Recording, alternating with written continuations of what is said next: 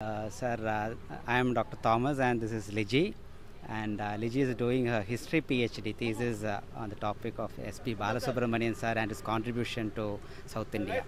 So, with that, uh, we felt music is known to all, and we wanted to know more about SPB sir's social impact activities like helping the poor and other kind of activities what he has done to the society and that is the reason why we are here today uh, to mark his birth anniversary.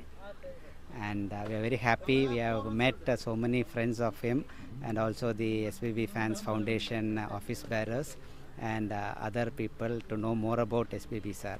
And it was really an uh, uh, worthwhile meeting here today. Thank you.